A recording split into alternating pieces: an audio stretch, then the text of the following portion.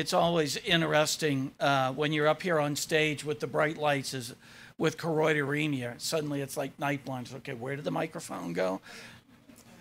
So next up is Dr. Stacey Hume, and Dr. Stacey Hume is going to give us uh, a bit of insight into a study that um, we we uh, we believe is unique, but maybe not quite as unique. It's the story of uh, an examination of uh, uh, brothers, um, one who has very strong CHM um, uh, symptoms, and another brother, both of which have the same genetic mutation and are not, uh, the older one is not showing uh, as many or very little of the symptoms. Uh, so, Dr. Hume, if you'd like to step up, thank you.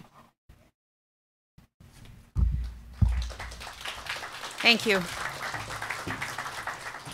I'm wondering if you're all cold. Welcome to Canada. This is exactly what it's like. and I have to admit, it's so cold right now where I'm from in Edmonton with Dr. MacDonald that I packed only winter clothes. And I got out of the car yesterday and went, what was I thinking? Anyways, I was thinking about this air conditioned room, is what I was thinking. Because, okay, um, so I'm just going to tell you a bit about my background so you know how I got into this. I actually run a lab that does the genetic testing. And so I'm one of those ladies that interprets those results. And I'm going to start by answering the question from the last one, which was the lady that asked about the why they couldn't. There is no good reason. I can't I've done lots of women for X-linked disorders. It is easy. Maybe it was a long time ago, but we run women all of the time and we can tell your two X chromosomes. So I would suggest either finding another lab or sending it in again, but there's absolutely no reason why we can't diagnose a woman with an X linked disorder. So I'm going to tell you today about a project that I'm particularly excited about and I'm hoping to get all of you excited about. So, really, it was, as most things in science are, a lucky discovery. So, we had an individual that had been diagnosed by Dr. Tsang um, and he had traditional um, choroideremia. However, when they went to do his genetic testing, they found a variant that was not so easy to predict what it was doing. And so he was told, We're not sure. We're not sure if this is actually causing the disease. So this patient actually reached out to Dr. Ian MacDonald, hoping he could possibly do some work to clarify whether this variant indeed caused his choroideremia. So before we talk about um, this variant, I want to introduce what mutations are. And first of all, I'm going to start by saying we don't call them mutations anymore. We call them variants. They decided years ago that mutations really has a negative connotation and that when you say somebody has carries a mutation or that you're a mutant, it didn't sound very good. And frankly, we all carry mutations. And so we really needed to make it more neutral and call them variants. So now, um, although I will use the word mutations because that is traditionally the word that people associate with something that is deleterious, we are now really trying to shift to calling them variants and describing them as either benign or pathogenic. So when we look at what a variant is, we have to look at our DNA, which is present in every cell in the body. And so in my illustration, I have shown you double stranded DNA present in every cell in the body. And this is why we can test um, a cheek swab or we can test blood. We sometimes do genetic testing on urine. We can do genetic testing on just about every tissue in your body. From DNA, our body converts it into a very unstable molecule called RNA. RNA is easily degraded. We don't keep it around in our bodies for long. And that's how our bodies control how much um, protein that we, we make, how much of the product we need. This is why our arms only grow to a certain length, because our RNA degrades when our arm has reached the appropriate length. This is why when we do forensics testing, they test DNA. They can't test RNA because it degrades right away. So I describe RNA as that intermediate that really is the manual, the how to make a body or how to make a cell. RNA then goes to making a protein. And what I have drawn is a picture of um, construction vehicles because really that's these are the doers in our body. These are the proteins that actually perform functions in our body. So, why isn't DNA the final manual? Well, we heard this morning that the process of making our instruction manual, RNA, is a process called splicing. So, what I have up here is a very long gibberish um, um, word that starts with step one and then doesn't make sense. There's a lot of um, letters after that.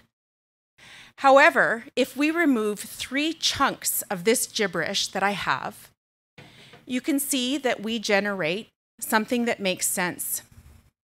It would be step one, screw bucket onto roof. However, if we introduce a stop here, which most individuals with choroideremia have, these stop mutations, we now stop that RNA, that instruction manual, early, and it says step one, screw bucket, stop. So we now have a bucket that is not screwed into our machinery and is just hanging around.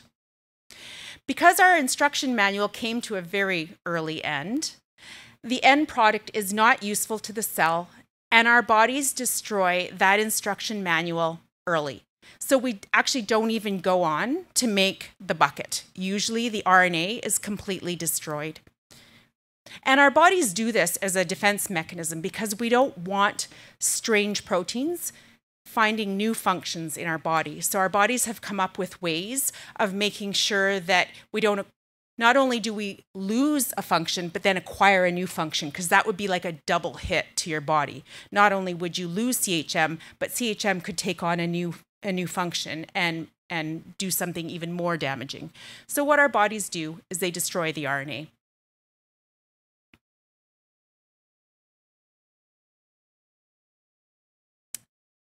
So there is another type of mutation. We call these splice mutations.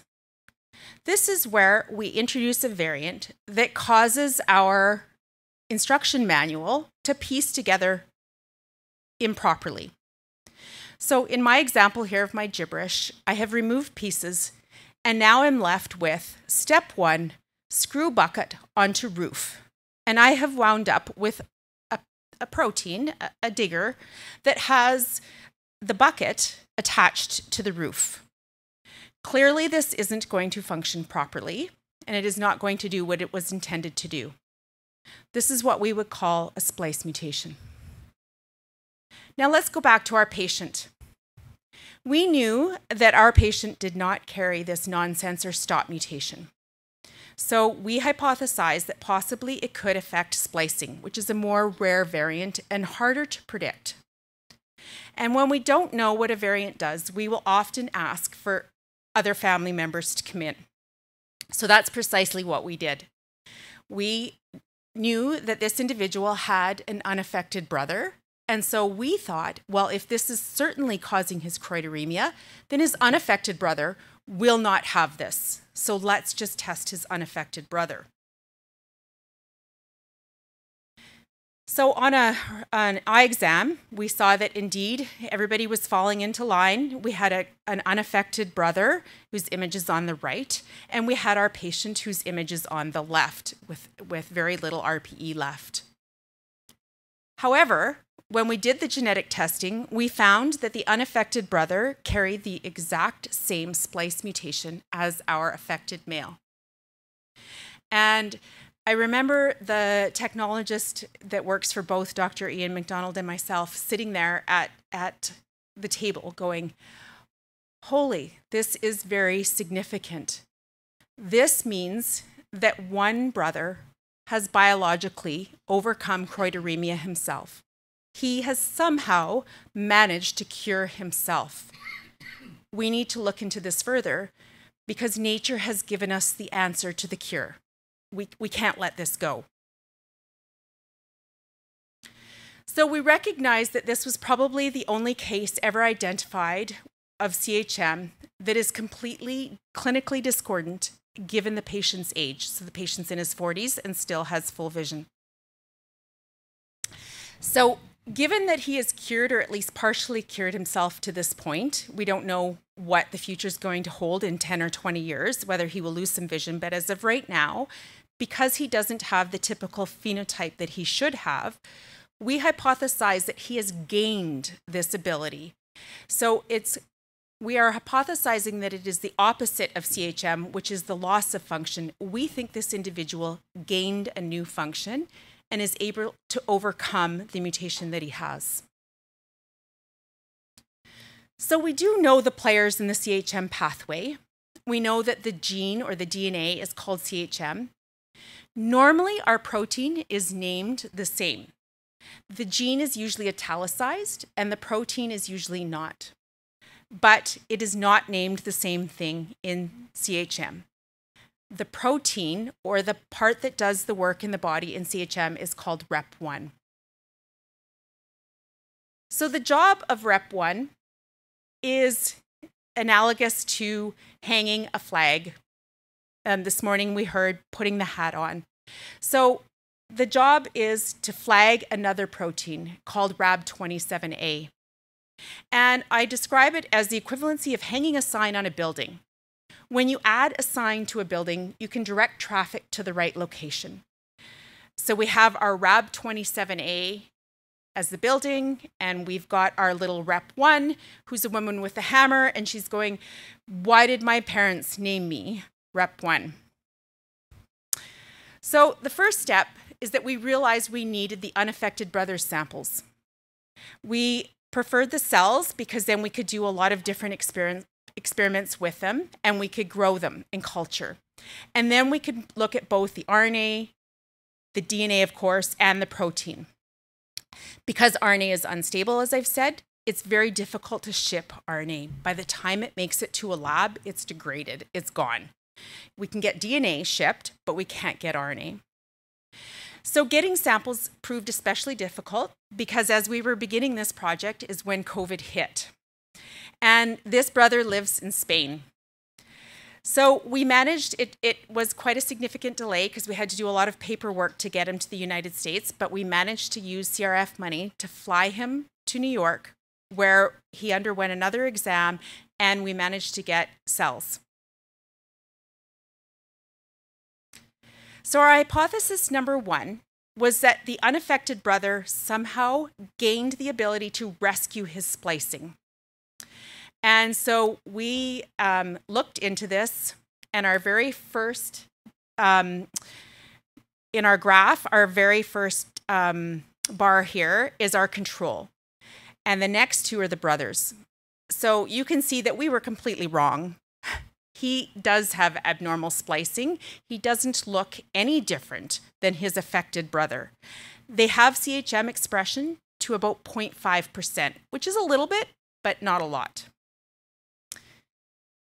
So both brothers produce RNA that is the same but smaller size. So the first part of my figure here is showing that the beginning of the of the protein starts off fine and then at the end both of them produce something that is smaller. They look the same. Okay, throw that hypothesis away. Let's go with a second hypothesis. Perhaps the unaffected brother had more protein. So we were thinking, okay, the RNA doesn't look good, but that 0.5% that he was making, maybe it's hanging around a little bit longer and that has preserved his vision. So we ran a gel to look at the REP1 protein. And in by the yellow arrow, you can see our control, beautiful protein at the top. Nope, no protein in both affected and unaffected brothers. So, wrong. Hypothesis number two, not correct. So, we started looking at more potential players. In your body, as you know, there are two proteins with similar function, REP1 and REP2. REP2 is long thought to not participate in the, um, the hanging of the flag in the retinal pigment epithelial cells, but we thought perhaps in the unaffected brother, REP2 is produced in higher amounts, and the little bit of activity that maybe by overproducing it could fill in for the lack of REP1. Result was no. REP2 is present in the same amount in both brothers. Of course, this does not rule out REP2 levels could be different in the retina because neither brother wants us to sample their retina for some reason. And so we are doing this on um, fibroblast cells and lymphocytes. So we can see here in our control sample um, that it's not statistically different. Our affected and unaffected brother do not have elevated amounts of REP2 protein. Hypothesis four. Perhaps the activity of REP1 is replaced in the unaffected male. So, does the unaffected brother still have the activity that REP1 does? Because he's still hanging that flag up by some other protein that's never been discovered. Is the hanging of the flag still happening? This hanging of the flag is a complicated process called prenylation. So, we did an assay that measured how many buildings, um, and in science language, we call those RAB proteins that don't have flags, so not prenylated. So you do not want to see a band here. And we can see our control. We are missing the two bands in the middle. That is what we should look like. There is basically no difference between the affected and the unaffected brother. They are still missing the flags. Okay, we're on to hypothesis six. The unaffected brother possibly has another variant that improves or replaces the damaged REP1. So we sent both brothers off for whole genome sequencing. This produces literally thousands of variants. Um, we've looked into a couple thus far, but so far none ap- appear promising. Part of the issue is that we have thousands of variants to sift through. So, our corollary of hypothesis six is that some individuals have variants that give them great vision, very healthy RPE. And there's a big problem with this very likely scenario. Variants are common they make us individuals. I inherited the short lady variant that I curse my mother for every day. Um, I have green eyes. I love those. Um, I can't curl my tongue. So we all carry variants. Um, and we notice or discover those variants that don't function properly. But if someone has great vision, we don't send them off for whole genome sequencing to find out why you have great vision. So you don't get genetic testing if you have great vision. You only get genetic testing if you have poor vision. So, how are we going to figure out if there are variants that make people have exceptionally healthy RPE and that can overcome CHM? And my thought on this is also that those female carriers that have differences in expression that some some are affected and some aren't is probably because they have some common variant that's present in a lot of people that gives them healthy RPE for longer. It's probably exactly what we're seeing in our unaffected brother that they carry something very common that I may even have, but we wouldn't know because Nobody cares that I have exceptionally good vision. So now we're looking for the needle in the haystack, somewhat. Although it's not really a haystack because we do know the players in choroideremia. So this is called, when we start looking for the exact players, gene ontology mapping. We want to find software, and I think it does exist, it's just a matter of searching it out, that examines variants in the context of a known pathway. We don't care about the variants that are in genes that are not even expressed in the eye. We don't care about the height of the brothers. We don't want to know if the brothers are going to get cancer one day. We don't want to know any of that. We want to look at specific genes that are expressed in the eye and ignore all of the others. So this complicated pathway that I put up just shows you that we know the pathway for choroideremia, so we kind of know where to look. There's still going to be lots of variants to examine here, but we know where to start looking. So this is the next step. Hypothesis seven, while we were sending um, our brothers off to get whole genome sequencing, it takes quite a while before it comes back. Uh, my brilliant technologist, Alina, was reading some papers and discovered that there was a natural compound which seemed to affect splicing. So she decided to ask the question would this particular compound fix the splicing of this particular variant? So her conclusion after she treated um, our patient cells with this compound was that it does increase the expression of CHM. We were quite shocked. So we are now in discussions with that drug company just to see um, if if they will maybe fund some more studies on looking at um, treating some forms of rare diseases, including CHM that have the lack of splicing, with this natural drug that's that's uh, not synthetic at all. So our conclusions are that we have discovered an individual who has naturally overcome the deficit seen with a CHM gene mutation. This likely represents a gain of function variant, which are very difficult to figure out. Our next steps are going to be to use gene ontology mapping to look for a list of potential variants. And we also wish to do RNA sequencing, which is tricky because RNA degrades, but it allows us to see what the expression level differences would be between both boys, um, one that's affected and one that isn't. There must be something there that's different between the two of them. Once we have some prospective candidates, we're going to work on a measurable assay. For example, if we find a variant that causes REP2 to be expressed and functional in the eye, whereas normally it's not, then can we introduce this variant into the cells from the affected brother? Is there a way to get REP2 to compensate for REP1? Everyone here has a functioning REP2. If we could get REP2 to function instead of the damaged REP1, that would represent a natural cure. Um, so as we knew that this work was coming along, we also developed specialized cells from the affected brother that we can force to develop into those retinal pigment epithelial cells, those iPSCs that we were talking about. We've made those. So we are ready to do some functional work on those cells as soon as we identify some um, candidates. So I have some big thank yous, my brilliant tech, Alina, um, and then Dr. Ian MacDonald, because we've worked hand in hand for a number of years, him doing the clinical diagnosis, me being in the lab doing the genetic testing, as well as investigating patients for whom we could find no CHM mutation.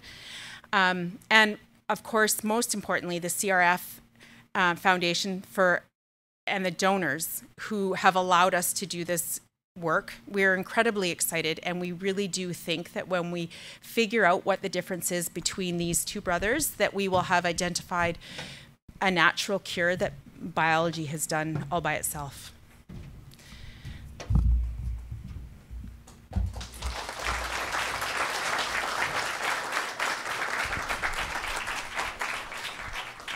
Thank you. Do we have any questions?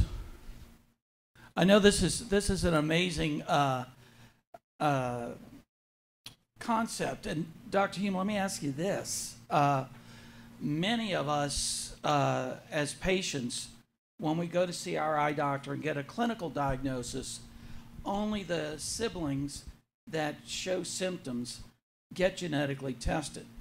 So, uh, what are the possibilities that we have more of these uh, interesting siblings out there?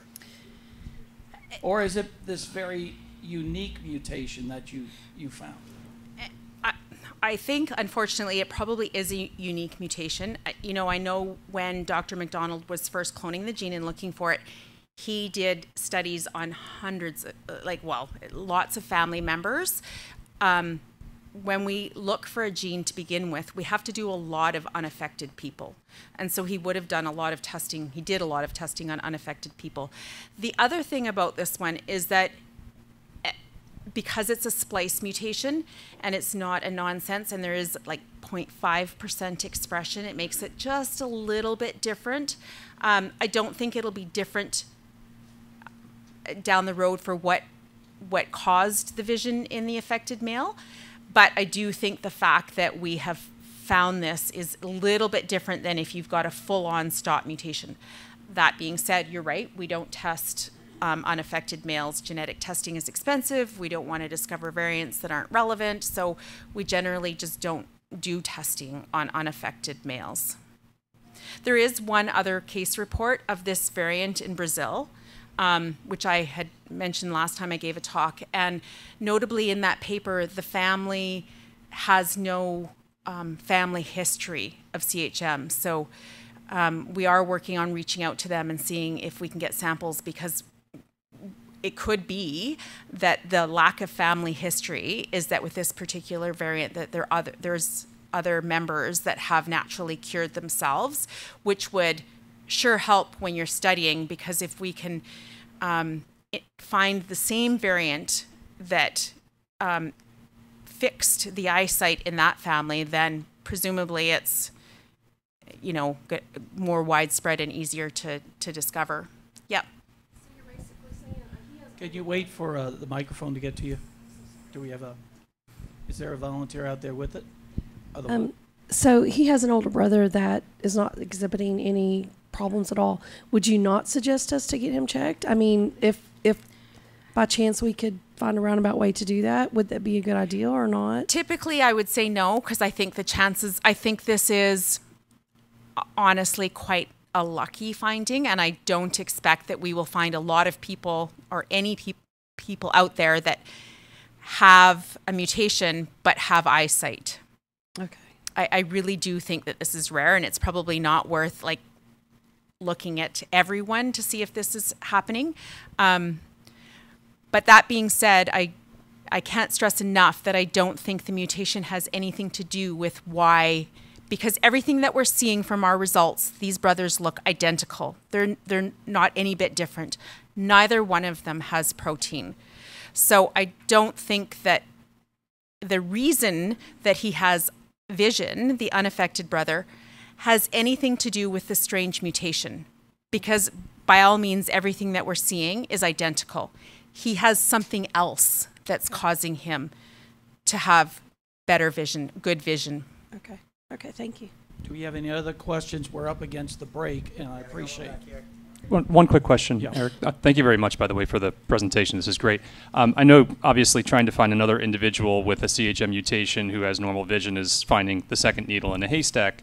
Um, but is there any benefit of having additional affected CHMers um, provide whole genome sequencing um, to sort of try to eliminate some of the noise in, in your variant analysis, or might that actually generate more noise? Yeah, no, it wouldn't help yet. But what I've been asking Dr. MacDonald for is there CHMers that have different rates of progression or different starting points? Because if we do find another variant um, in this individual that has preserved his eyesight and you were to be a CHMer, I would predict that if you carried this variant, that your eyesight was preserved later than others. And so this is what I'm pushing Dr. MacDonald for. If he sees anybody that's a little bit discordant, that we remember that and later go back to their sample to see if they have any um, have this variant present in them. Thank you. that, that, by the way, is Dr. Chris Moen, who is one of the most unique CHMers in that he mapped his own DNA at Jean Bennett's lab. Wow. You make me blush, Eric. Sorry. Uh, Stacey, um, hi, I'm Vicky, and thank you. It was very, very interesting. I want to tell you that we also have a family um, where the uncle has a mutation, he's affected. His sister is a carrier, and she has a son, and he has the mutation, and he's not affected. Oh. So there is a second family, um, and we think it's to do with the splicing, and, and the same. We look through the fibroblasts, and the splicing is the same for both of them, the the son and the um, the proba- uh, the patient Yeah. and the uncle, and our hypothesis is perhaps that because we know splicing can be a little bit different from tissue to tissue. Yep. So we've done the iPSC. We're going to be doing the RPE to see if by chance uh, the splicing in the in the retina actually varies at that level. So um, it's kind of interesting, and I think we should be in touch. I because think I think too. It could be something that could be, you know, there might be information. That I could agree, help and I think if, if we could do RNA-seq on both of them, I think that also we could maybe see what's being expressed Yeah. in both of those individuals. Yeah, I- Exactly. I, completely And agree. this is why we bring the researchers together.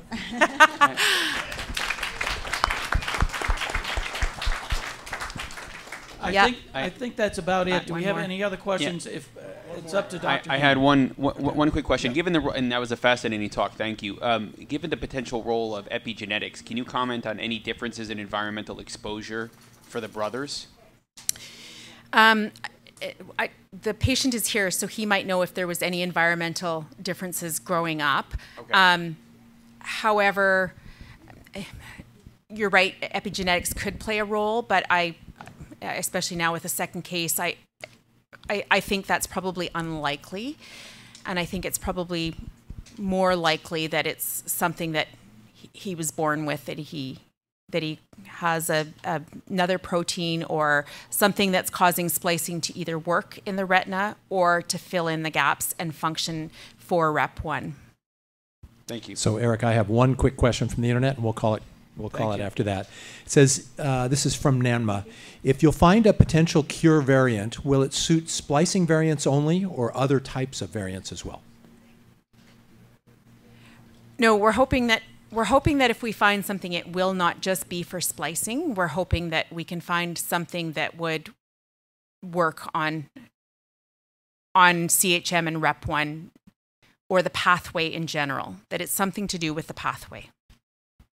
Yeah, that's, that's the thought of, of the Science Advisory Board when we made the investment in this research grant, was the hopes were that if there is a certain type of protein, that there may be some sort of neuroprotective agent or other um, potential of enhancing that protein in, in the rest of us to help uh, sustain more life within the cells.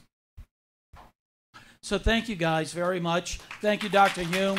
Thank you for coming from Canada. We greatly appreciate it.